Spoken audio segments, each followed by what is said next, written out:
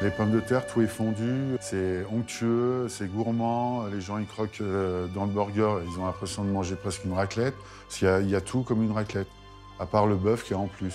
Et avec une bonne salade verte, un bon verre de vin blanc, c'est parfait. Au menu du jour, un burger de saison des plus savoureux, à la raclette et aux beignets de pommes de terre.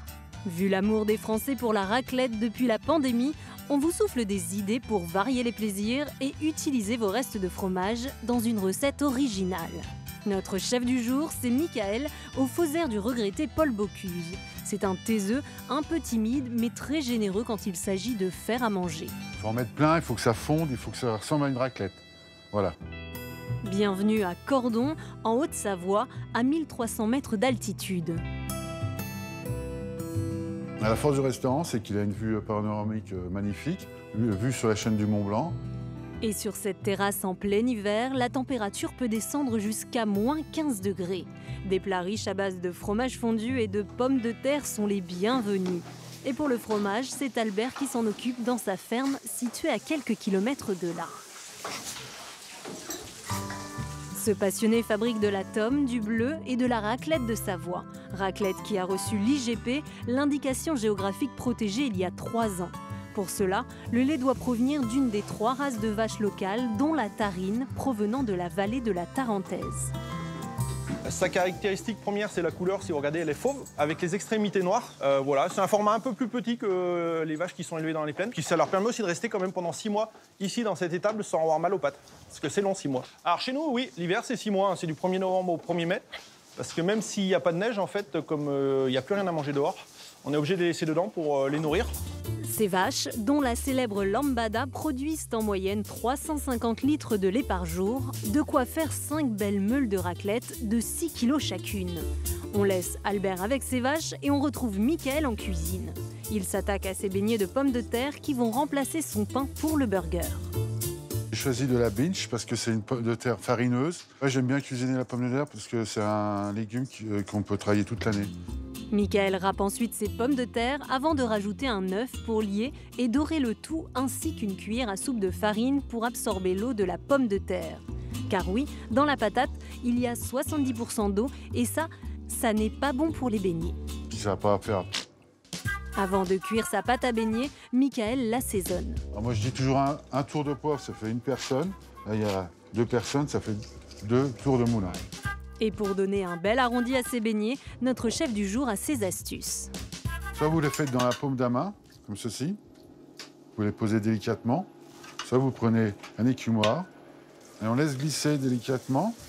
Avant de les retourner, on va attendre qu'ils soient bien dorés d'un côté. On va attendre 2-3 minutes. Ils sont bien dorés.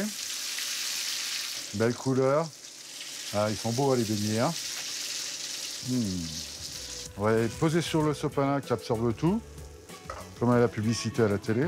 Ça y est, on a le faux pain à burger, il ne reste plus qu'à remplir le casse-croûte d'un beau steak haché. dans une poêle bien chaude. Moi, j'aime bien saignant parce que euh, le casse-croûte, on va le repasser dans le, dans le four et il va recuire encore un peu. On assaisonne des deux côtés. Alors maintenant, on va passer au dressage, au montage du burger avec euh, du bon jambon cru qu'on a été chercher à Combloux, il y a à 10 km d'ici, chez Flo. Florent est un boucher charcutier normand qui a émigré au pied du Mont Blanc il y a 20 ans. Voilà. Le jambon est originaire de, de Haute-Savoie, élevé au grain. Voilà, des vrais porcs fermiers qui sont euh, excellents et à la fabrication qui perdent pas beaucoup d'humidité. Il fabrique tout sur place, des saucissons au jambon fumé. Car s'il y a bien un avantage à travailler en Haute-Savoie quand on est charcutier, c'est le froid. Aujourd'hui, on a des températures qui sont très basses. Ici, on a vraiment euh, un, un gros potentiel de charcuterie grâce au temps. L'été, même si on monte à 30 degrés à l'extérieur, les nuits arrivent à descendre à 13-14 degrés. Donc très facile pour la fabrication. Retour en cuisine, Michael monte son casse-croûte étage par étage. Attention à ceux qui ont le vertige, ça grimpe. La raclette à la truffe. Voilà, généreux, comme la raclette. Un bon steak haché frais. On remet un morceau de jambon cru. On n'hésite pas, il faut être gourmand. Une tranche de raclette. Vous voyez, ça fait un beau burger. Et on finit par le beignet de pommes de terre. Voilà. Voilà, la pièce est montée. Il ne reste plus qu'à l'enfourner à 240 degrés pendant au moins 5 minutes, le temps pour votre fromage de couler. Voici le burger du Mont Blanc.